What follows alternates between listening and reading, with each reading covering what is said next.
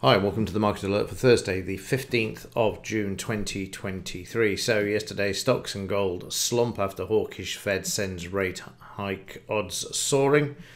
Uh, it's a bit bizarre, really, isn't it? Because obviously, yesterday they paused with the uh, rate increases. Uh, Fed pauses after 10 uh, hikes, signals very hawkish outlook uh, with no recession. Uh, headlines these are US interest rates held after inflation uh, fell to less than half UK's rate. I mean, if there is uh, they're still hawkish, that means there's still an underlying threat uh, to in, um, inflation. Then why the pause? It just seems bizarre, and then come out in the press conference and say that they're still going to uh, continue to raise rates. Uh, UK stocks finish, sorry, US stocks finished mixed post FOMC after the hawkish reaction to the Fed's uh, dot plots. Uh, that's a, a, graph where they plot uh, potential future rate increases or decreases, and uh, market uh, recover after Powell distanced himself from hawkish dot plot. So basically, is the is the threat the market goes down, um, right, I'll just distance myself from it, and then the market's free to come back up. So up we go again. It's uh, it's just like it's all engineered, isn't it? Anyway, let's have a look at um, today and then get into what happened yesterday. So look at the economic news. Uh, we've got uh, 115 main refinancing uh, from the eurozone. They're going to increase rates uh, by a quarter of one percent and uh, we've got the monetary policy statement by uh, the criminal herself, Lagarde. And then 1.30, we've got uh, some manufacturing data, retail sales, uh, unemployment claims, Philly Fed. And uh, oh, she we've got an ECB conference at 1:45, so that's probably when she's going to be speaking. 2:15 p.m. We've got industrial production, so all economic news out of the way before the Dow opens at two. Reaction to yesterday's uh, or yesterday evening's news and uh, what we can expect during today. And we'll kick off with the Dow. So as you can see from uh, the chart here that uh, we moved down, we started to move up uh, quite nicely in the pre-market session. Then we were hit with this pause, but it was already predicted anyway, maybe even uh, priced in. But uh, the market went down and came back up. So look at the 30-minute chart. You can see uh, get a better indication of this. So we went straight down. let's have a look. One, two, 250 points and then the market uh, reversed with the uh, buying there and then it's got stuck in the sideways range and is now making its way back to the upside. Needs to go above the close and the dp and also take out the 200 ma and the 50 ema in the 30 minute chart with the high uh, couple of hundred points, 250 points higher than where we're currently trading. So in the daily chart, you can see on uh, Tuesday that we went uh, to, well, went through the 34261 and uh, yesterday now we've got uh, this bar projected back. Uh, we traded up to 78% retracement and also uh, we've traded lower than this as well. So let's just get rid of these. Let's just see what the strength this market has by projecting back to the upside uh, which I've just removed and put back on, obviously. Um, so these are the areas where you can expect uh, some resistance as the market makes its way back up to the uh, 89% retracement, where in theory it would actually run out of steam. So it'll be interesting to see if the market can get back to this level. Like I say, in the 30 minute charts at the moment, we're sideways to higher, but uh, again, I wouldn't be at all surprised if uh, now all of the main news is out of the way that we don't see a bit of a move to the downside, more so in the German DAX.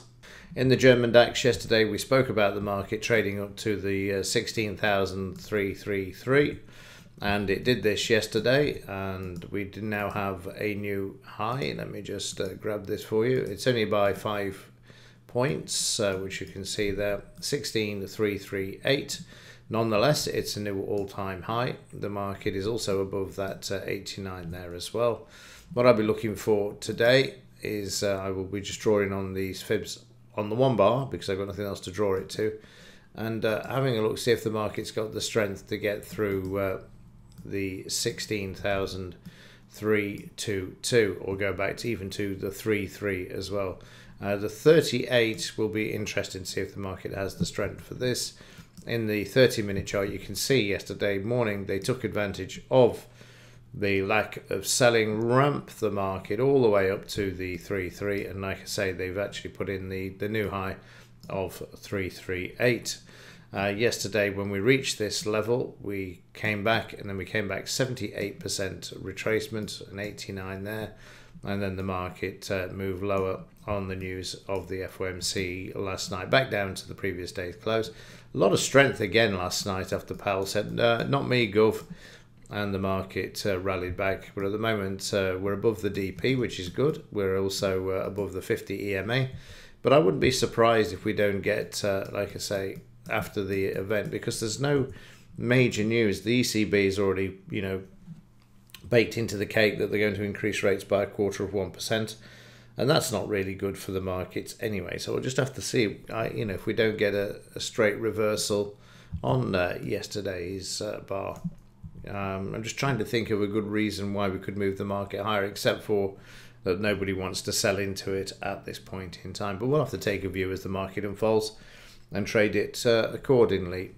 And in the five minute chart, uh, we took off uh, straight on the cash open. You can see huge volume there, market moving up, never stopping, coming back doing just over 100% retracement, putting in that uh, new all time high of uh, 38, and then the market uh, trading to the downside and getting stuck in a range and making its way down until we had the US FOMC, and there you can see the market coming back, retesting, and then uh, moving back to the upside. And overnight, uh, prices have uh, continued to move higher, but at the moment, uh, struggling with the close.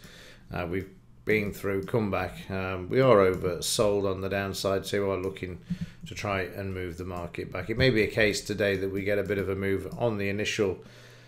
Uh, open to suck people into the upside, and then the reality of um, more rate increases to come send the market back to the downside. So the week so far 396, profit factor 226, and uh, the win loss ratio is uh, 65 35 at the moment. Uh, you can see it just managed to do a few trades uh, last night, uh, missed the one in the morning, um, but uh, took advantage last night. And in the S&P, continuing to move to the upside, stronger than the Dow at the moment. 30-minute uh, chart, uh, you can see quick recovery from the spike down towards uh, Tuesday's low there. Uh, straight back up and is still above the DP at the moment and the close. It'll need to hold above the DP and this is the same for all markets holding above the DP will be important if the market is to continue the bullish stance that we have in the daily chart at the moment. Again, we're all green bars at the moment in the S&P 500. In the UK 100, we're stuck in the sideways range. Barely a reaction yesterday to uh, the FOMC. You can see that we moved up sharply in the morning and then gave back all of the gains in the afternoon and traded down to uh, last night's uh, low there in the uh, 30 minute chart at the moment and below the DP, so looking fairly sluggish and weakish for the FTSE 100 at the moment. And in the uh, GBP JPY, uh, you can see we're up on the overnight strongly, up again yesterday. I have to look at the monthly chart to see where at the moment, and we're at 15, uh, 2015 highs.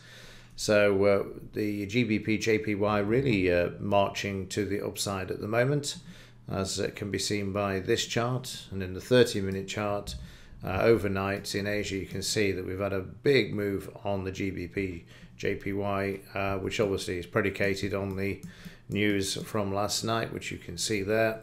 So uh, a big move of uh, 100, 150, 170, 80 points there for the GBP JPY. Meanwhile, the cable is uh, trading through yesterday on uh, news of 126.796. Got a new high here. So let's just mark this up as well. Uh, that's at 126.99. Uh, so let's have a look at the bigger time frame for this. Let's have a look at a monthly chart just to see where we are in the bigger picture for the pound dollar. You can see there we've got uh, the 50 EMA in the way, and that is around the 128 level. So keep an eye on that one if you uh, trade it. Uh, we can see there, let's just have a look at the weekly chart. I'm intrigued to see what we've got on the upside. So we have got, um, actually it was taken out yesterday, that uh, high. So the 200 MA in the 30 minute chart as well. And in the 30, uh, in the weekly chart, in the 30 minute chart, uh, you can see yesterday also blistering move to the upside 100 points and then back overnight and starting to move up uh, there slightly as the dollar obviously starting to weaken slightly but yesterday the dollar moving sharply to the upside so let's have a look at that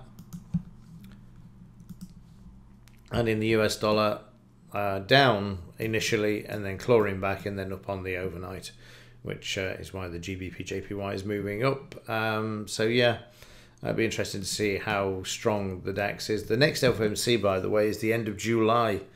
So there's a lot that can happen in between, and particularly in the metals, which uh, I'll talk about now.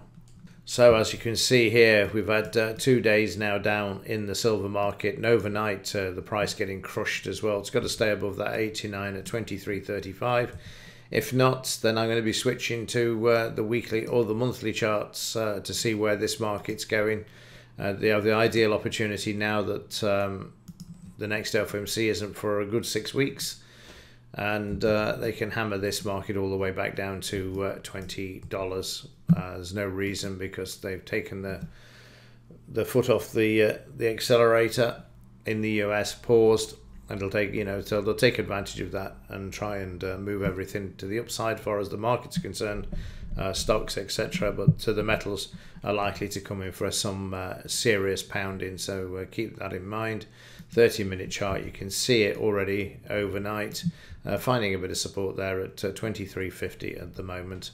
But I wouldn't be surprised if they don't give it a good kicking uh, just to get the price down. It's in staggering to to to still look at this and see that it's 60% cheaper than its all-time high. The only thing in the world, I think, at this time in the gold market also hammered overnight down to the 1931 support to the left that we've seen there. So another one that's been crushed, and uh, again you can see that uh, here. But trying to get back at the moment um, above the 1934, is it 35 level? 1935 is the blue line there. And finally, uh, as I say about silver getting crushed, well, it's evident here, isn't it? Uh, even overnight. Uh, you can see that it's been hammered to the downside, uh, which is why the gold silver ratio has moved back to the upside. And uh, no doubt he's going to continue moving to the upside as well as we go forward. Uh, because uh, we needed to see uh, more on the, the rates from Powell for this market and of course the blatant manipulation as well, which we've seen for a very long time. Taking effect once more, clearing the way for uh, the uh, the manipulators to keep crushing the price so that it can be bought for solar panels and the industrial side of it uh, cheaper. Right, that's it for this one. As ever, thanks for watching. See you in the next one.